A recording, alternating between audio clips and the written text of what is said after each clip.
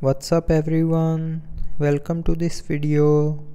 In this video I will show you how to set up an eSIM in Galaxy S25 Ultra.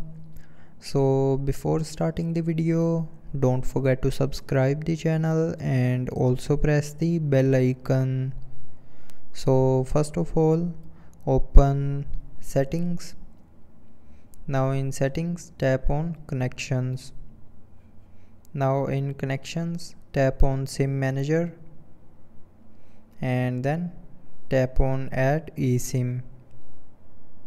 Now you have to enter your lock screen pin password or pattern and then tap on ok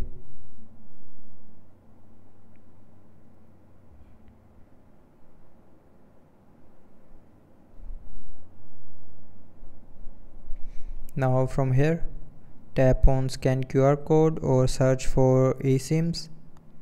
You can use both ways to add or set up an eSIM. So if you have if your service provider provided you a QR code then select the first option.